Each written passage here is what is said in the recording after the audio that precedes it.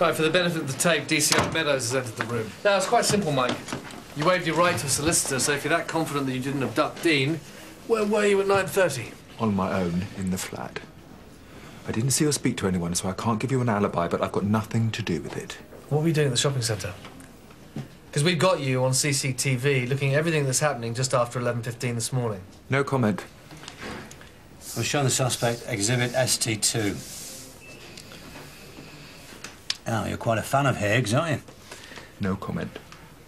I've been doing some checking, and there are quite a few similarities between you and Haig. He was very close to his mother. She died when he was 10, and he was brought up by his father. Did you know that?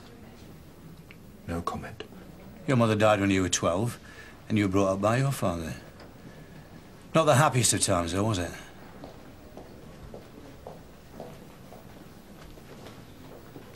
I'm not saying anything till I've consulted a solicitor. Interview terminated 1446. We terminated the last interview. We were talking about your father. Isn't this meant to be about Dean Clark? My dad's got nothing to do with it. It's all right, Mike. I'm trying to help you here. Because I think I understand why you have this empathy with Haig. He feels trapped. They just need to build the pressure. But he couldn't accept the fact it was his own fault for being a loser, so he took it out on his son. I think it was the same for you and your father, wasn't it? He blamed you for all his failures. It's all right. I'm not going to shout at you or try and twist your words or anything. Because I know that you were a victim too, aren't you? You're right. Dad knocked me around.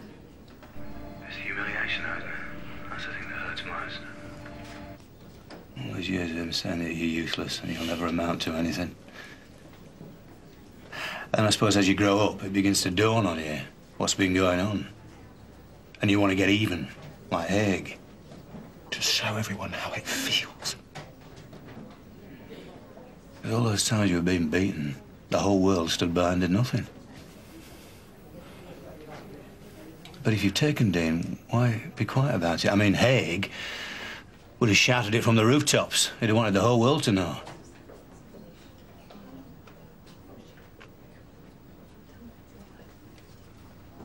You're right. I did take Dean. You're never going to see him again. You're saying that you killed Dean Clark? You won't ever find his body either. Now that's it. I want to speak to my solicitor in private. So where did you take Dean in the van? Somewhere you'll never find him. He wouldn't shut up.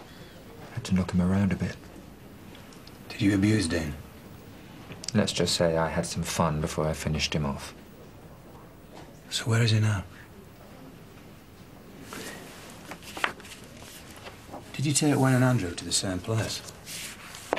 I... No, I, I never touched Wayne or his mate. Well, we know about the video games, the cash, and the autographs that you gave them. So what happened when you met them in the park? I never even bothered turning up. But they went there and waited for you. It's too risky. Their mums had seen me talking to them. That's why I took Dean. Because he's a complete stranger.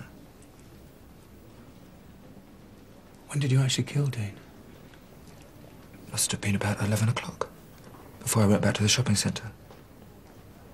Because about an hour ago, when you were talking to your solicitor, Dean Clark rang his mother at home. You're lying. He can't have done. The reason that you make yourself look like Alistair Haig is because you're a wannabe. Isn't that right? You wanted to abuse Andrew and Wayne and snatch Dean. But you couldn't face the idea of going inside and being picked on as a nonce, could you?